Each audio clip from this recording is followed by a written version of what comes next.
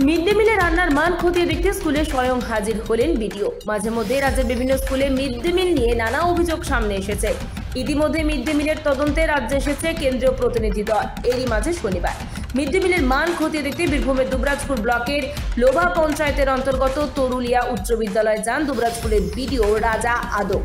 এছাড়া উপস্থিত ছিলেন দুবরাজপুর পঞ্চায়েত সমিতির সভাপতি, দুবরাজপুর থানার আইসি বিপ্লব সিং সহ অন্যান্যরা। মিড ডে মিলে রান্নার ঘর পরিদর্শনের পাশাপাশি রাঁধুনিদের সাথে কথা বলেন বিডিও।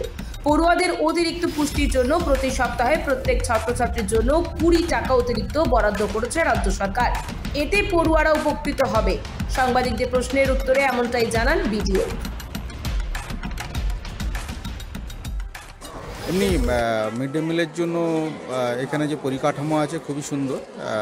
যারা দলনেত্রী আছেন, দল যে কাজ করছে মিড ডে মিলের যে মূল লক্ষ্যটা যেটা রয়েছে, যারা পড়াশোনা করতে আসে তাদের যেন ভাতের টান না পড়ে, খেতে পাচ্ছি না বলে পড়তে পারছি না, এই বিষয়টা যেন না হয়।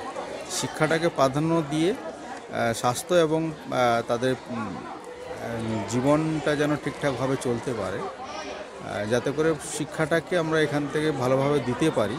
মিড ডে মিলে এটাই হচ্ছে উদ্দেশ্য। এর সাথে আমাদের গভর্নমেন্ট অফ ওয়েস্ট বেঙ্গল মাননীয় মুখ্যমন্ত্রীর উদ্যোগে এখানে একটা অ্যাডিশনাল নিউট্রিশনের ব্যবস্থা করা হয়েছে।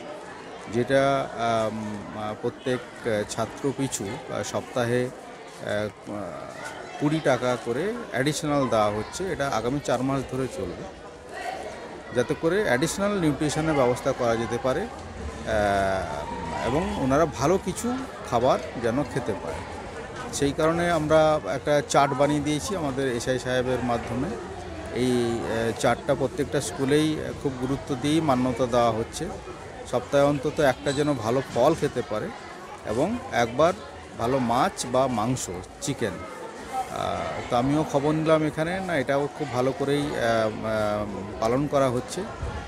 একটা নির্দিষ্ট দিনে সারা দুবরাজপুর ব্লকে মাছ বা মাংস এবং ফল এটাকে সুনিশ্চিত করা গেছে।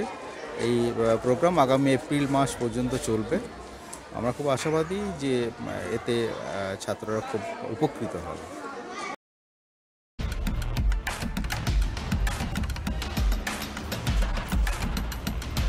বীরভূম থেকে নিজস্ব প্রতিনিধির রিপোর্ট টিভি নিউজ টেন